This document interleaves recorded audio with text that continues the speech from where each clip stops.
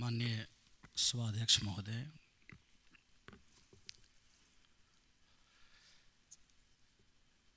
सबभन्दा पहिला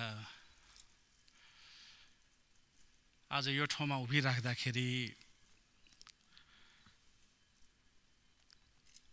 पक्कै पनि नौलो अनुभूति भइराखेको छ। र खास गरी जुन ठाउँमा कुनै बेला मेरो नाम मात्रै लिन पनि निषेध गरिएको थियो।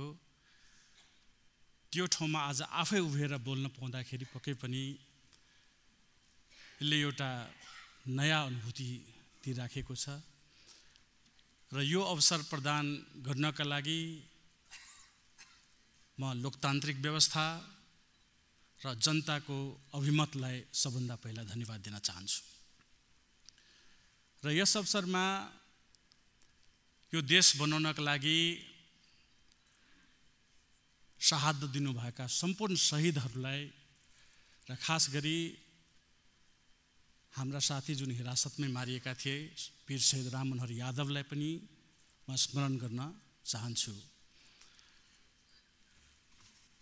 र यो देश निर्माणका क्रममा प्रयोग भएका केवल तलवारका धारहरू मात्रै होइन कि विषयनगरजीका सियो समेतलाई म यहाँ सम्झिन चाहन्छु।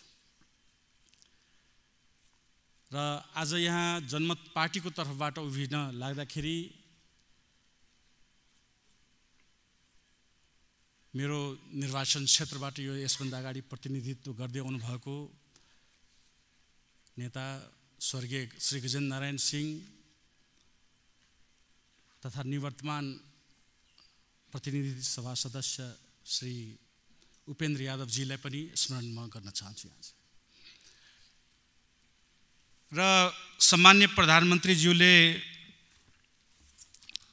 जसरी भन्नुभयो नयाँ दलहरूको आगमनलाई स्वागत पनि गर्नुभयो र भन्नुभयो कि उहाँहरूसँग आवेग पनि छ।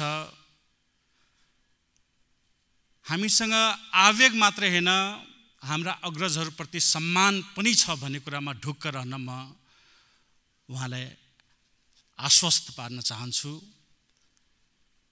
र हामीभित्र देखिएको आवेग त्यो जनताभित्र रहेको परिवर्तनको आकाङ्क्षा मात्रै हो। त्यसलाई हामी ऊर्जाको रूपमा परिवर्तन गर्न सकौँ र सकारात्मक परिवर्तन यो देशमै ल्याउन सकौँ भनेर आशा र विश्वासका साथ नै म यहाँ उभिएको छु आएको छु।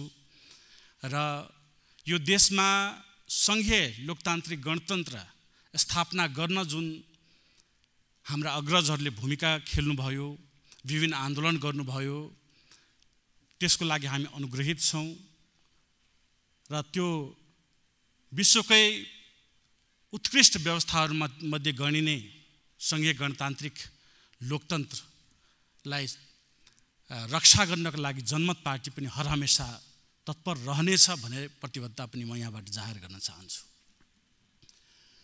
र सङ्घीयताको सवालमा जसरी नेपाल चाहिँ विविधतायुक्त देश हो हरेक दृष्टिकोणमा हरेक आयाममा जातीय संरचनादेखि लिएर भौगोलिक संरचनादेखि लिएर जसरी यो बहुभाषिक बहुसांस्कृतिक बहुधार्मिक बहुराष्ट्रिय देश हो त्यो आधारमा संहिता यो देशका लागि अपरिहार्य छ भनेर म स्मरण गराउन चाहन्छु।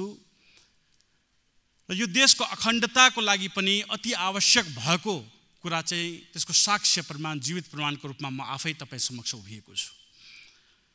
त्यही भएर यो सरकारले संहितालाई सबल गर्ने दिशामा उपयुक्त प्रभावकारी कदमहरू लिनेछ भनेर मैले आशा लिएको छु। त्यसका साथै गणतान्त्रिक व्यवस्थाको जहाँसम्म कुरा छ यो देशको लागि गणतान्त्रिक व्यवस्था नौलो सर्वथा होइन। जति बेला विश्वले गणतन्त्र बुझेको पनि थिएन प्लेटोले गणतन्त्र लेखेको पनि थिएन त्यति बेलासम्म भनौँ न इसापूर्व छैठौँ सातौँ शताब्दीमा पनि मधेसमा गणतान्त्रिक व्यवस्था थियो। हामीसँग वज्जी गणतन्त्र थियो कपिल वस्तु गणतन्त्र थियो कोलीय गणतन्त्र थियो। त्यो गणतन्त्र कुनै हाम्रो लागि नौलो व्यवस्था होइन हामीसँग खोसिएको व्यवस्था मात्रै हो। जसलाई चाहिँ हामीले पुनर्स्थापना गरेका हौँ यहाँ। त्यही भएर यही गणतन्त्रको गणतान्त्रिक व्यवस्थाको देन हो कि जुन दरबारमा हामी टिकट पाएर पनि भित्र छिर्न सक्दैनथ्यौँ हेर्न सक्दैनथ्यौँ त्यहाँ आज जनताका छोराछोरी गएर देशकै सर्वोच्च पदमा आसीन भएका छन्। त्यो गणतान्त्रिक व्यवस्थाको देन हो। त्यही भएर गणतान्त्रिक व्यवस्थाप्रति हाम्रो उच्च सम्मान छ जनमत पार्टीको उच्च सम्मान छ र यो व्यवस्थाको संरक्षणमा सदैव गण जनमत पार्टी तत्पर रहनेछ। र लोकतान्त्रिक व्यवस्थामा पनि हाम्रो आस्था उत्तिकै सुदृढ रहेको छ। र खास गरी म भन्न चाहन्छु र एउटा उदाहरण मार्फतै भन्न चाहन्छु यहाँहरूलाई किनभने यहाँहरू सबै सङ्घर्षकै पाटोबाट आउनुभएको छ उम्मेदवार बनेर जनताको माझबाट निर्वाचित भएर आउनुभएको छ। र त्यो निर्वाचित हुने क्रममा एउटा उम्मेदवारले जति जनताको घर देलोमा पुग्छन् जति जनताको चरण स्पर्श गर्छन् जति जनतासँग हात मिलाएको हुन्छन् त्यति चाहिँ दस पुस्तामा पनि कुनै महासामन्तले हात मिलाएका छैनन् होला। त्यति जनताको घर दैलोमा कुनै पनि महासाम सामन्तले कुनै पनि विश्वको कुनै कुनामा त्यति घर दैलो चाहिँ कुनै पनि महासामन्तले गरेका छैनन्। र यो चाहिँ लोकतान्त्रिक व्यवस्थाकै देन हो कि धनाढ्यभन्दा धनाढ्य व्यक्ति पनि एउटा गरिबभन्दा गरिब व्यक्तिको झोपडीमा गएर त्यहाँ चाहिँ नतमस्तक हुन बाध्य हुन्छन्। त्यो लोकतान्त्रिक व्यवस्थाको सुन्दरता हो।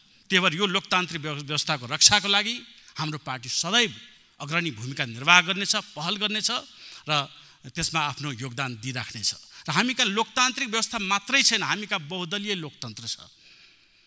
र त्यही आधारमा आज नयाँ पार्टीहरू यहाँ आउन पनि पाएका छन्। जनताको नयाँ आवाज मुखरित हुन पाएको छ। त्यही पनि राज्यबाट विगतमा त्यसमा बाधा अवरोध हाल्ने प्रयास नभएका चाहिँ होइनन्। मानिजीको समय सकिएको छ।